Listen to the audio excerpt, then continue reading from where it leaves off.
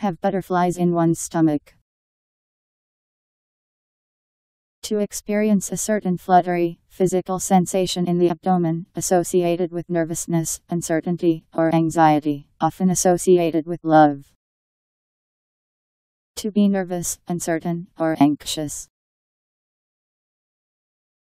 H A V E B U T T E R F L I E S I N O N E S S T O M A C H.